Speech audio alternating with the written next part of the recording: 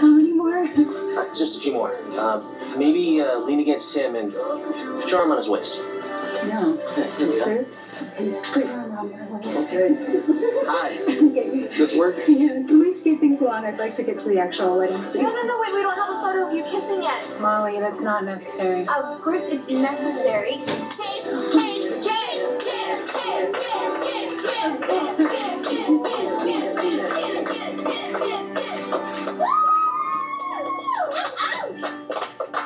Listen. Okay. Hey, um, You and Sonny, Jason, you guys need to go out on the terrace. And Alexis, Molly, where's Molly? Oh, she went to go get the bouquet. Oh my gosh, that sweet girl wait, thinks wait, that there- everything. There's something missing. No, we have the bouquet. Nothing's missing. The justice of the peace. Yeah, the justice of the peace isn't coming. Well, wait, but that defeats the whole purpose then. Who's gonna marry us? It doesn't defeat the purpose, not at all. Actually, I think it's time for that surprise I was talking about. So I thought a lot about who should officiate our wedding, and there was only one choice. Who? Who? Who? Who? Who? Who? Stop! We're ready for you.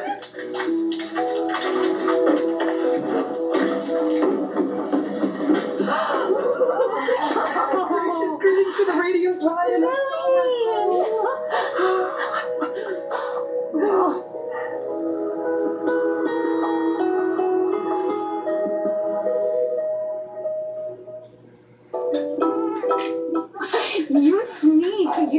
You didn't tell me you were coming. Yeah, a certain amount of subterfuge is prerequisite for a good surprise. You I wanted somebody special to officiate our wedding. That's so sweet. When did you become a minister? Oh, uh, just yesterday, 30 minute online session with the Church of Illuminating Wonders, and uh, voila, let's see here.